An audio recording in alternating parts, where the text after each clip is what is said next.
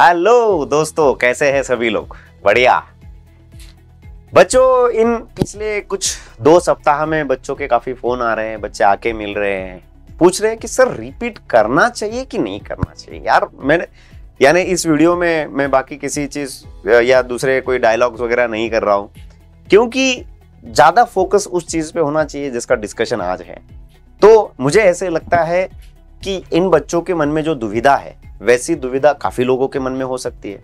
कुछ लोग मेरे पास आ रहे हैं, इंस्टीट्यूट में बाकी फैकल्टीज को पूछ रहे हैं, ये सबके राय ले रहे हैं और डिसाइड कर रहे हैं क्या करना है, क्या नहीं करना है। वैसे काफ़ी सारे बच्चों के मन में भी ये डाउट होगा कि सर रिपीट करना चाहिए कि नहीं करना चाहिए? करना चाहिए तो क्यों करना चाहिए, नहीं करना चाहिए तो क्यों नहीं करना चाहिए?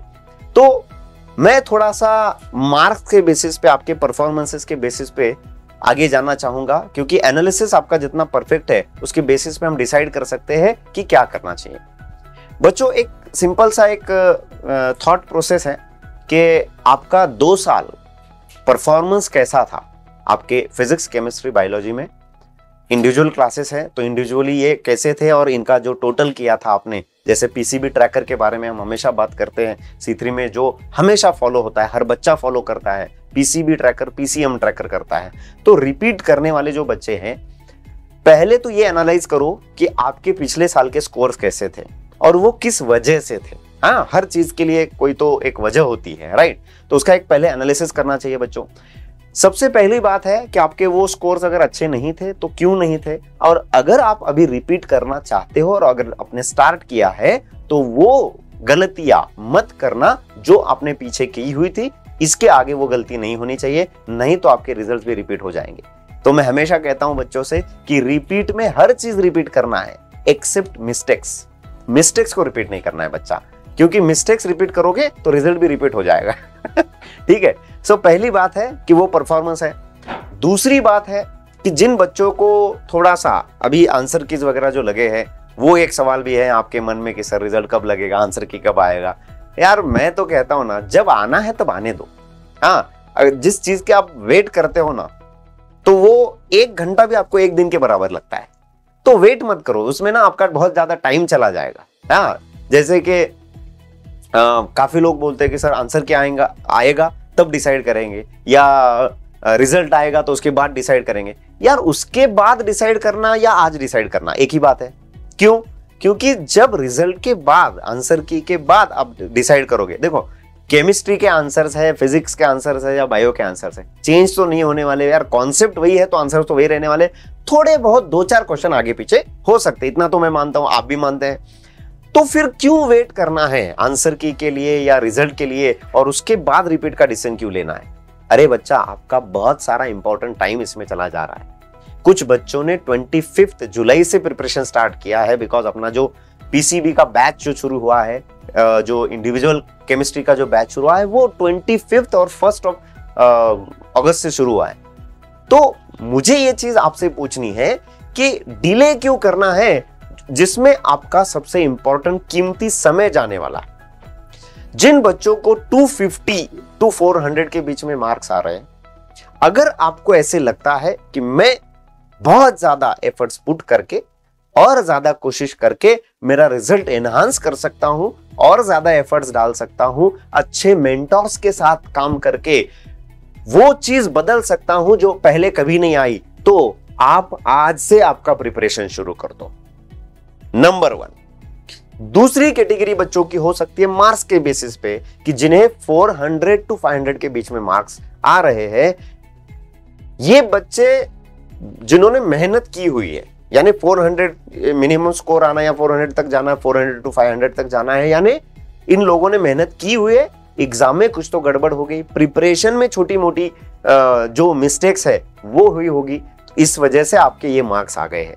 तो आपके मन में अगर दुविधा है आखिर क्या करना चाहिए? 400 टू 500 के बीच में मार्क्स आ रहे हैं? तो सर ये दुविधा है कि करना चाहिए कि नहीं करना चाहिए? मेरे मार्क्स बढ़ेंगे कि नहीं? तो सबसे सिंपल बात है बेटा you are very close to your result right हाँ उतना क्लोज नहीं है जितने 500 प्लस वाले बच्चे हैं, लेकिन 400 प्लस स्कोर आना, इसका मतलब है आपके हर सब्जेक्ट के चैप्टर्स अच्छे हैं, बस आपका ना जो प्रैक्टिस वाला पार्ट है, वो कहीं पे मिसिंग है। कॉन्सेप्ट अच्छे थे, इसलिए 400 प्लस आ गए, नहीं तो नहीं आ सकते थे। तो आप लोगों को क्या करना है? आपके मेंटोर से ये चीज़ शेयर करनी है कि, सर, मेरे कॉन्सेप्ट्स मेरे ये चैप्टर का लिस्ट है केमिस्ट्री के फॉर एग्जांपल चैप्टर्स निकालिए तीस चैप्टर है। तीस चैप्टर में मेरे ये ये ये चैप्टर्स बहुत अच्छे हैं, इन चैप्टर्स में मेरा काम नहीं हुआ है। तो मैं अगर रिपीट करता हूँ तो मुझे कौन सी चीज़ों पर फोकस करना चाहिए?